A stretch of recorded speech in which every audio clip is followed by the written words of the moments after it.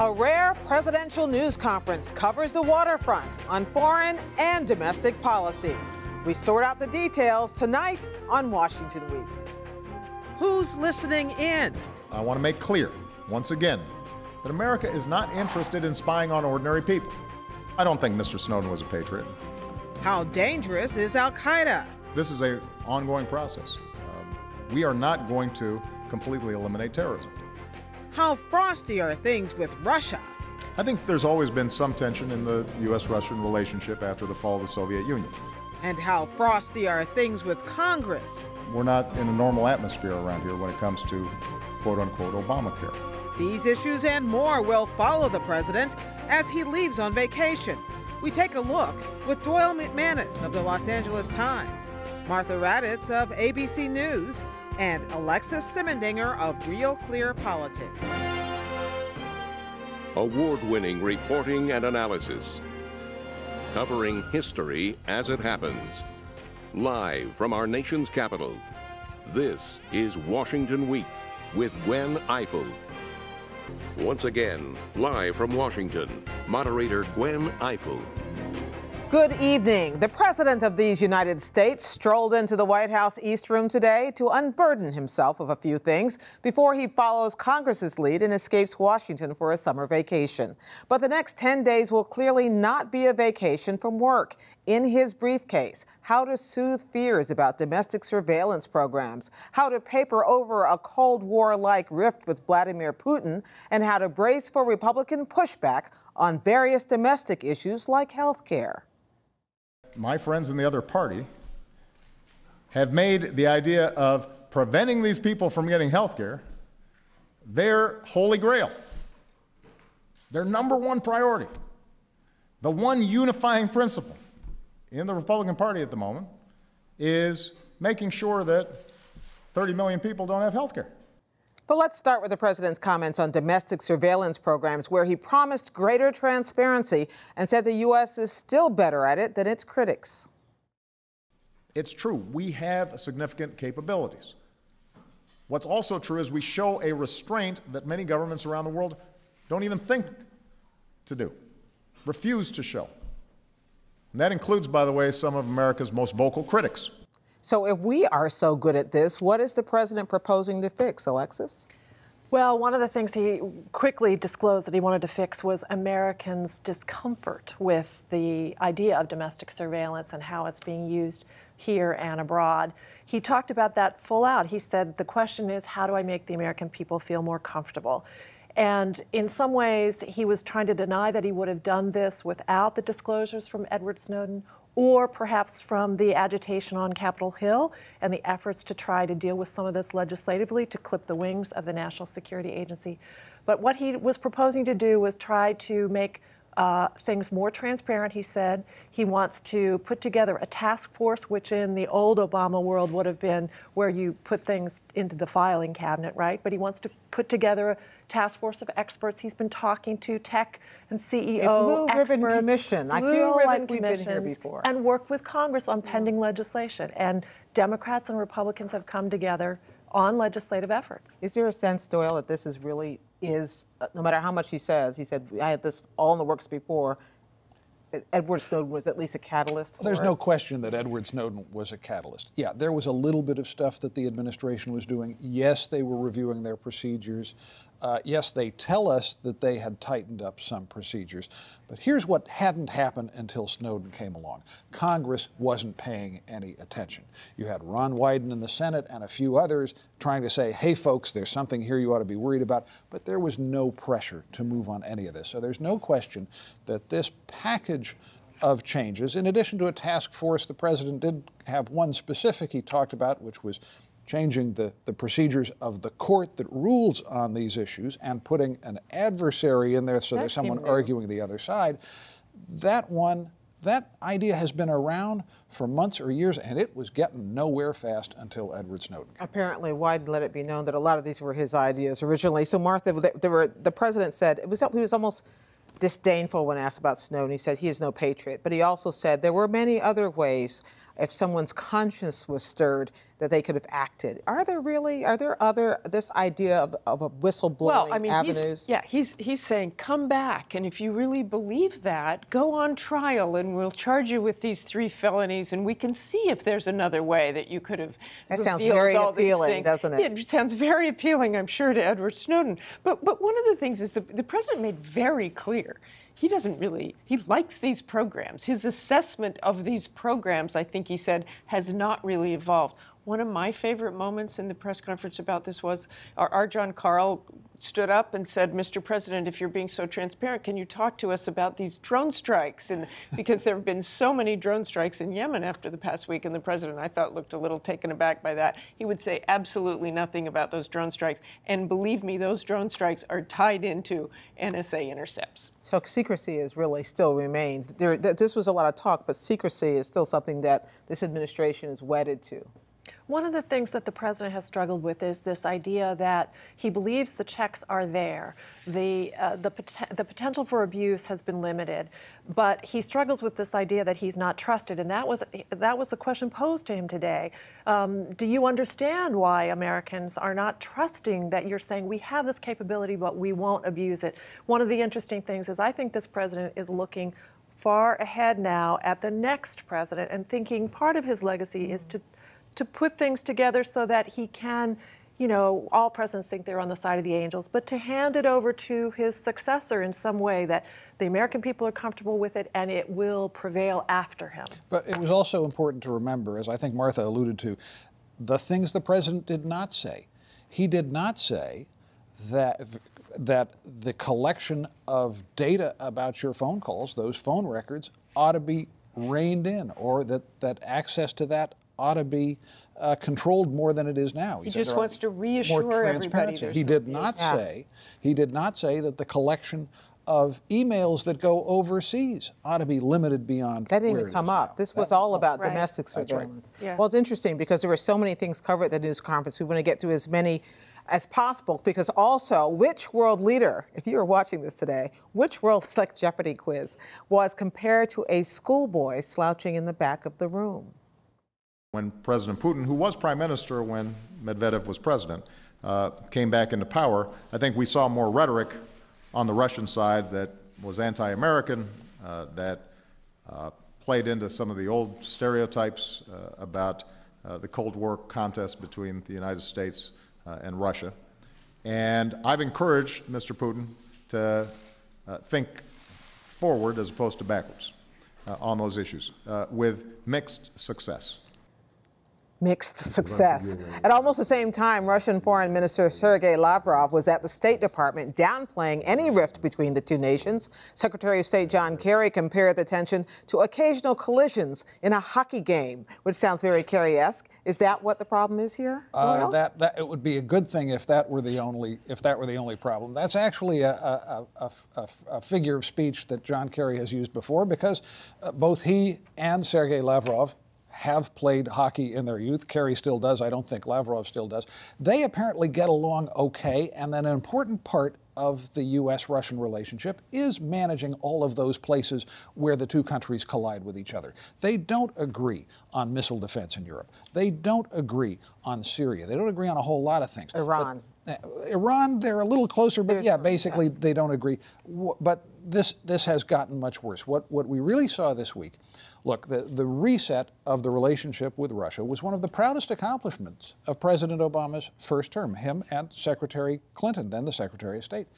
Uh, for a long time, the administration has at least publicly been in denial. These are just small bumps on the road. These are collisions on the on the hockey rink, but but things are basically okay. What this week made official is that the reset has gone into reverse, and nobody can deny it. It would be nice if these were just hockey friendly hockey players bumping into each other, but when the president of the United States compares the president of Russia to a schoolboy slouching in uh, uh, in a chair in the back of the room you can't deny there's something personal there. There was something throughout this press conference where there were casual descriptions about willy nilly this and schoolboys that.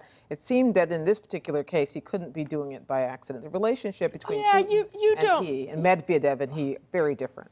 Very, very different. And you don't say those things about another world leader. You just don't say those things if you're if you're trying to say it with great respect. There was no great respect there in anything he said. And, and you know, it's not a reset button. It's a rewind button. It really is. I mean, he said it's time for a pause. You can almost. I was thinking this week. You can almost see President Obama just saying, "I've had it with that guy. I've just had it with that guy. Let him slouch off someplace Well, else." He, he made that slouching comment as a way to say, this is what you all notice, body language. But in fact, when we meet, sometimes we're, what did he say, blunt, we're candid. Candid, And, he's, and he and said, sometimes- Wait, which pause, words for bad? pause, and occasionally helpful or constructive. Constructive. right, exactly. Um, there is no question that that international put down was meant to be a slap at someone who in Russia fancies himself a blend of James Bond and Marlon Brando, right? I mean, this is his image at home. It's supposed to be a slap towards him, and the, it was stunning to hear it. Except at the same time, and we mentioned Sergei Lavrov and John Kerry, they were having perfectly, and, and Chuck Hagel and his counterpart, perfectly cordial relationships, having a conversation. It was moving along. So is some of this psychodrama and some of this the real work getting done? Uh, it's it's both. Look, there's still a, a, a big long agenda that has to get done. All of those issues we named and others that include trade, that include Edward Snowden, uh, that include all kinds of stuff, and you can't let those go by the board. Um, but it's clear that the Obama Putin relationship isn't moving things forward. I thought one of the interesting unasked questions about canceling the summit, in a sense, was uh, compared to what? Would this summit, you, you, in the old days, you had a summit with a Russian leader when you knew there was going to be uh, clear progress forward. Which actually was part of the administration's explanation for canceling. That's right. They had we, nothing. They we had gotten away done. from that, and this relationship was so close. You could have a routine summit. You didn't have to have forward progress. Well, now we're back to the old Cold War rules. Uh, if you think of the kind of summit this would have been, if if the president had gone ahead, number one. Obama would have under, undergone terrible criticism for, for looking weak and spineless. He would have given Putin an enormous boost on prestige, and Obama would have had to go into that meeting and say, Give me Edward Snowden. Mr. Putin would have said, Get on your horse and get out of here, and Barack Obama would have looked humiliated again. was That no would have been way. a great Washington week to talk about that. that would have been. Even better to be in the room. We would like to do that. Okay, there was another big topic renewed threats from Al Qaeda that brought about U.S. evacuations this week from Yemen, which raised the question Has Al Qaeda, as promised, really been decimated? This is the president's answer. this uh, tightly organized and relatively centralized Al Qaeda that attacked us on 9 11 has been broken apart and is very weak and does not have a lot of operational capacity. And to say we still have these regional organizations like uh, AQAP that can pose a threat, They can drive potentially a truck bomb into an embassy wall and can kill some people. So, was that the fear of what ha- was happening this week, and that's why Americans were evacuated? Yes, that's I, I, I, the officials I've spoken to say that was precisely the fear in Yemen. It started in Yemen with a threat to blow up the U.S. embassy or the British embassy, and they thought truck bombs were out there.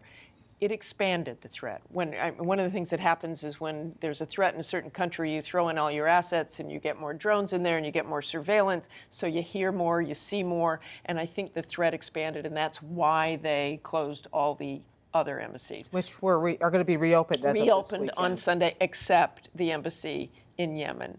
One of the things when I listened to President Obama talk about decimating the core Al Qaeda, I, think we don't know what we don't know. Still mm. today, as much as we think we know, the fact that Osama bin Laden is dead, terrific. That broke up core Al Qaeda.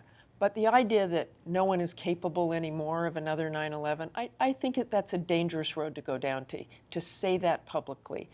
They are still very fearful someone is going to get a body bomb on an airplane or another printer cartridge that will actually work to bring down an airplane. And frankly, who knows what other plots are out there? I don't, I don't mean to sound doom and gloom, but I don't think we know what we don't know, even though our intelligence is pretty terrific. Well, which circles back to this question about surveil- international surveillance. You're not going to give that up as long No, as. and it- we had Zawahiri, who was who was Bin Laden's number two guy, who is now number one guy in core Al Qaeda, if you want to call it that, communicating with the head of Al Qaeda on the Arabian Pen- Peninsula. That tells you something too. Was there any sense of the White House, um, Alexis, that part of what drove this was in the way that Edward Snowden drove the announcements about surveillance today, that the, the fallout from Benghazi may have driven some of this decision to shut down so many embassies, so many government, put out such a broad travel warning throughout so much Oh, of the world? clearly. And I don't think that there was any apology for that that we heard at the White House and anyone I talked to. It was about this is the era of abundance of caution. And you also heard members on the Hill who had been critical of what had happened after Benghazi saying publicly, we can't be critical of that, and then try to be critical of this idea of being on the, on the side of ultimate safety or extra safety. Um, the president was also, as as Mar- uh, Martha is saying, is sort of caught in this idea that he had claimed a certain level of victory over Al Qaeda, Well, and now he and, he- and Leon Panetta, the former Secretary of Defense. Absolutely, and and and campaigned on that uh, aggressively in 2012. So you, you know, I could hear this sort of down downgrading verbally. The rhetoric, you know, he was tamping it down, but the actual activity level had had certainly been quite dramatic. I, I, Yeah, I, I just want to say quickly about Benghazi. This is a huge change in the last 10 days. They are overriding ambassadors. They are saying, I'm sorry, it's no longer your decision. We're the ones who are going to make the decision, and we're going to decide whether your embassies and consulates are closed. A That's lot- a that's big right. A lot of those working diplomats want to keep those embassies open, and there is, uh, under the radar at the State Department, a lot of talk about this. Really feels like an overreaction. Mm-hmm. Are we, are we going to be weak? Actually, the government of Yemen put out a statement saying, "You folks are going out of business here. Do you really think you need to do that?" Well, you mentioned the government of Yemen. I think it was just a week ago today that the president of Yemen was with the White Yes. House, was at the pr- president in the Oval Office doing the, the grip and grin. And then right after that was when all these warnings came out. Do we know whether there was any connection at all? There, there was, in the sense that uh, we are told that the president was pushing President Hadi of Yemen for more cooperation and more uh, uh, permission to do drone strikes. There was a, a Because the president knew that this was coming? and the Yemenis have been cooperative. I mean, They've- really have been cooperative. It's been up and down though, strikes. and there, there was an ask. A little from- better. Yeah, Yeah, it's yeah. better now. There was a, a, a yeah, there was a connection.